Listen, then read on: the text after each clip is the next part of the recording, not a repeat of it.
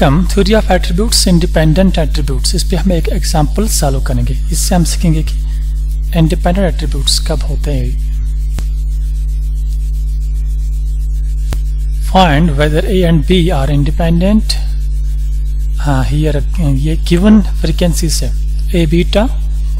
is equal to 48 alpha b is equal to 768 and ab attribute 256 alpha beta is 144 तो इसमें हमें दिखाना है कि क्या A and B attribute independent है कि नहीं दो एट्रीब्यूट तब ही ए बी तब ही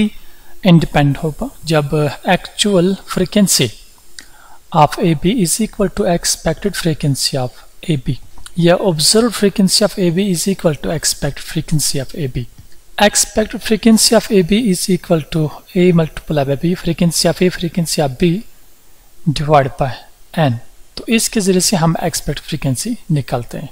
नो इसकी एक्सपेक्टेड फ्रीक्वेंसी निकालने के लिए हमें यूज़ करना पड़ेगा contingency टेबल ये है contingency table theory of attributes में इसको हम यूज़ करते हैं। ये ए अल्फ़ा बी बीटा चूँकि दो ही एट्रीब्यूट है ए एंड बी इसलिए हमें हमें two by two contingency table use करना पड़ेगा। नौ यहाँ पर देख लीजिए। ए मल्टीप्लाई बी इज़ यहाँ पर जो फ्रीक्वेंसी होगी वो ए बी की फ्रीक्वेंसी होगी और A into beta which is equal to A beta यहाँ पर ए बीटा की फ्रीक्वेंसी होगी। No A alpha into B is equal to alpha B यहाँ पर अल्फ़ा बी की frequency and alpha into this beta यहाँ पर अल्फ़ा बीटा की फ्रीक्वेंसी होगी। चलिए हम A B A B is in the question here 256 and alpha b is equal to 768 and uh, a beta a beta is equal to 48 and alpha beta alpha beta is equal to 144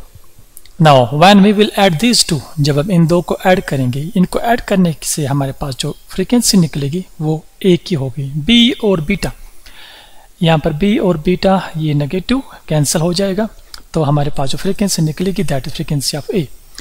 यहाँ पर alpha alpha B beta opposite cancel जो frequency हमारे पास निकलेगी वो alpha की frequency and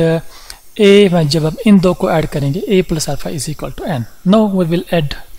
this इस side से भी ऐड करेंगे और इस साइड से भी ऐड करेंगे। दोनों साइड से हम इसको ऐड करते हैं। Two five six plus four eight is equal to 304 no frequency of A is 304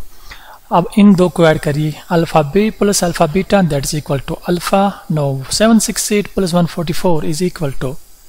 912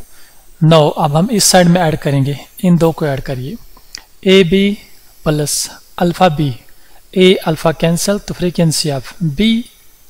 here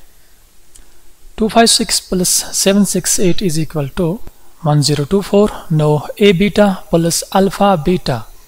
and uh, a alpha cancel here is frequency of beta. Now 48 plus 144 is equal to 192 now जब आप इन दो को add करोगे a alpha या b beta ये दोनों n के बराबर आते हैं। ये दोनों n के बराबर आएँगे। नो 1024 प्लस 192 1216 अब जब आप इस साइड से ऐड करोगे 304 plus 912 that is also equal to twelve sixteen तो हमारे पास जो फ्रिक्वेंसीज निकली, जो हमें यूज़ करनी थी, ये ए एंड बी को इंडिपेंडेंट दिखाने के लिए that is expect frequency of A B तो expect frequency of A B निकालने के लिए ए को मल्टीप्लाई करने का फ्रिक्वेंसी ऑफ़ ए को मल्टीप्लाई करना पड़ेगा फ्रिक्वेंसी ऑफ़ बी के साथ डिवाइड बाय एन तो ये वैल्यूज़ निकालने के लिए हमें यूज़ करना पड़ा कंटेंजेंसी टेबल तो कंटेंजेंसी टेबल हमने इसीलिए यूज़ किया तो ये ए इससे निकला बी भी निकला। Now here frequency of A अब हम टेबल में देखेंगे 304 multiply by frequency of B here in table frequency of B 1024 divided by n n is 1216 now we will multiply 304 into 1024 311296 divided by 1216 which is equal to 256 256 is the expected frequency of AB now expected frequency of AB is equal to 256 अब observed frequency of AB here ये देख लीजिए observed frequency of AB is also equal to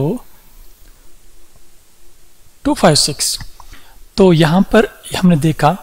कि observed frequency is equal to expect frequency of attributes A B then we can say that the two attributes A and B are independent तो हम उसी time दो attributes को independent कह सकते हैं। जब उनकी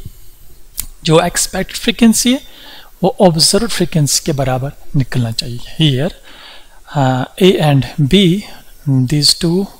attributes are independent because expected frequency of AB is equal to observed frequency actual frequency of AB 256 256